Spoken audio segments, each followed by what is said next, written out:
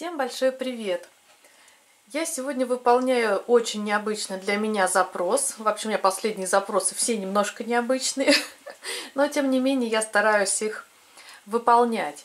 Вы знаете, этот запрос вообще индивидуален. Мне его задала, ну, попросила выполнить Катюшка Минченкова. Катюш, спасибо тебе огромное за этот запрос. Она меня попросила снять все мои свечи и все, что с ними связано. Ну, получается, подсвечники, да, потому что еще со свечами может быть связано. Я не скажу, что я фанат свечей, но я их люблю. Я люблю время от времени украшать свои ролики свечами. Просто так я крайне редко их включаю, зажигаю. В основном, когда у нас отключают электричество, наверное. Ну и вот э, то, что касается э, роликов. Давайте я вам покажу те свечи, которые купила я сама, ну и подсвечники. В основном я покупала подсвечники, свечи у меня все подарены, абсолютно все свечи будут у меня подарены. Ну и покажу то, что мне подарили девочки.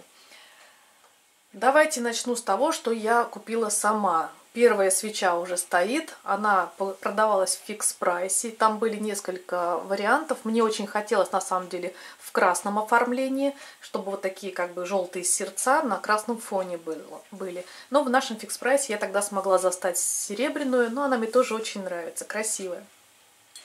Следующую свечу, подсвечник, который я купила, это я все подсвечники. Там свеча вставлена, сейчас покажу какая, вот в таком варианте. Сейчас там горит. Следующий подсвечник вот такой в форме лилии. И этот подсвечник э, я приобрела в компании Avon. Был такой набор. Он у меня участвовал даже в одной из пародий, э, где я пародию снимала на заказ Avon два года назад. Вот. И такой вот подсвечник у меня с тех пор живет, радует меня. Я также вставляю маленькую в него свечку. И он у меня, например, первое время, вот тогда два года назад, часто фигурировал в роликах. Ну, такая вот красивая, прям форма цветочка. Следующий цветочек, который я купила уже совсем недавно. И для меня это было достаточно дорого для подсвечника. Тоже смотрите, какой цветок. Уже глубокий. Я думаю, это стекло. Он стоил, я не помню точно, рублей 200-250, может быть 200. Для меня это дорого, как мне показалось в тот момент, но настолько он меня впечатлил, что я готова была отдать эти 200 рублей за такую красоту. Это реально украшение. Украшение любого стола. Супер. Прямо я даже загляделась. Так, из того, что купила я, наверное, все. Вот все. Это вот три подсвечника, которые прямо вот меня впечатлили и зацепили. Но, как я уже и сказала, я не скажу, что я прям фанат. И подсвечник, который я очень люблю, и вы часто видите у меня а, в роликах в форме вот такого сердца. В темноте это сердце, кажется, светится, когда горит свеча. Единственный минус вот этого подсвечника, его после того, как погасили свечу, не надо брать за верхнюю часть, только за нижнюю, потому что очень накаляется, горячим становится. Этот подсвечник подарили моему мужу на работе наверное, лет 7-8 назад. И я тогда подумала, что а, какой-то там дешевый, наверное, под золото, что быстро облезет и выкину. Ничего подобного. Вообще нигде ничего не облезло в идеальном состоянии. И от горячего тоже никак он не деформируется. Радует меня этот подсвечник вот уже несколько лет буквально. Ну и теперь покажу свечи, подсвечники, которые ко мне приехали все в посылках. Все приехали э, как подарки. Э, самые красивые, которые хотела бы показать. У меня пока рука не поднимается их достать в форме цветочка. Вот такие вот они красивые. Два оранжевых цветочка. Есть название? Ну нет, тут не, по-русски написано. Вот такая вот красота сюда поставлю. Еще один подсвечник, который мне очень нравится. Тоже рука пока не поднялась, ни разу не зажигала. Вот такой красный. Все берегу и хочу в каком-нибудь ролике его зажечь. Наверное, он будет тоже красиво смотреться. И к моей стене кирпичной очень подходит. Здесь поставим.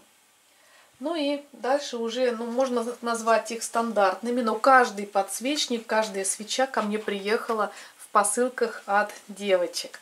Давайте я вас познакомлю с этими свечками. Первая вот в такой коробочке. Я даже ее из коробочки не вынимаю, чтобы пыль не попадала. Такой приятный аромат, мне кажется, кофейный. Да, да, кофе, свеча ароматическая, кофе. Вот такая свечка. Следующая свеча, я вам пока целые показываю, с ароматом апельсинчика.